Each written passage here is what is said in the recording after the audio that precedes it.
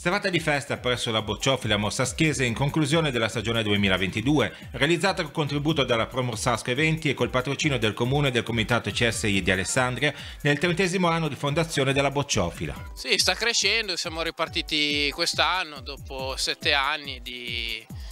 E di questo periodo un po' buio che c'è stato nel nostro paese, mettiamola così, siamo riusciti a lavorare bene, a fare otto gare addirittura qua e siamo molto contenti, siamo riusciti ad arrivare adesso a 300 soci. E il nostro impegno per il prossimo anno sarà sicuramente fare delle migliorie alla struttura, e coinvolgere sempre di più ragazzi e magari un domani affiliarci proprio come Federazione Italiana Bocce e fare eh, una società di soli giovani ragazzi.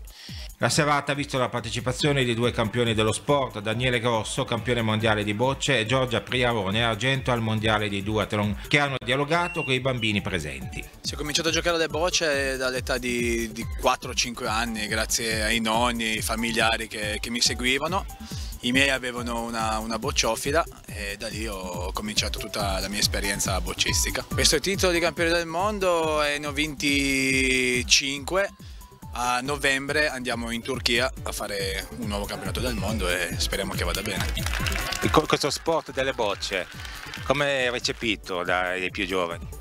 È recepito come gioco da, da, anziani purtroppo, ma non è così. Noi ad esempio, io e Luigi Cartapaglia, che è un altro giocatore molto forte di bocce, abbiamo una squadra Valfenera con 25 ragazzini da, dall'età di, di 7 anni a a 15, quindi cioè, ci sono molti giovani che, che, giocano e bisogna cercare di far capire che il mondo delle bocce non è solo da anziani ma anche per giovani. Io ho conquistato la medaglia d'argento al mondiale di due a staffetta e un quarto posto all'individuale, quindi dai due buonissimi risultati e ora tra una settimana agli europei, quindi spero solo di farli meglio.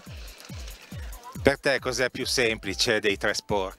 Eh, per me è la corsa, io sono, la mia frazione migliore è la corsa, anche se la bici è la, la mia preferita per quanto riguarda gli allenamenti perché è sempre bello stare all'aperto e pedalare sempre in posti nuovi. Questo sport eh, fa presa sui più giovani?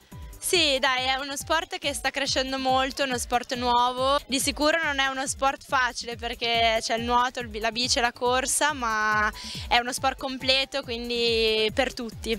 Nel pomeriggio i bimbi si sono cimentati in prove di running, ciclismo e bocce, il cosiddetto triathlon sbagliato, una festa che voleva celebrare anche l'inizio del nuovo anno scolastico. Non a caso la giornata aveva come titolo Un inizio da campioni.